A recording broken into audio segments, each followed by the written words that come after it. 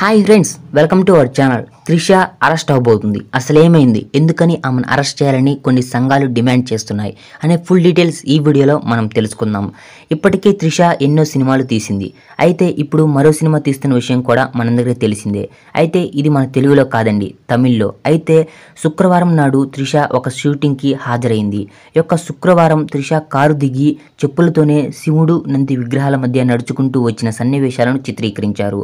అయితే ఇది చూసి ఇది చూసిన హిందువులు పవిత్రంగా భావించే దేవుల విగ్రహాల మధ్య త్రిష పాదరక్షలు ధరించి రావడాన్ని హిందూ సంఘాలు నేతలు తీవ్రంగా ఖండిస్తున్నారు. త్రిష అలాగే దర్శకుడు మణిరత్నంపై కేసు నమోదు చేయాలని హరీష్ పోలీస్ స్టేషన్లో ఫిర్యాదు చేశారు. అయితే ప్రస్తుతం త్రిషాని అరెస్ట్ చేయాలంటూ యొక్క సంఘాలు అయితే డిమాండ్ చేస్తున్నాయి. ఇది రైట్ అంటారా రాంగ్ అంటారా మీరు కామెంట్ సెక్షన్లో కామెంట్ చేయండి. అయితే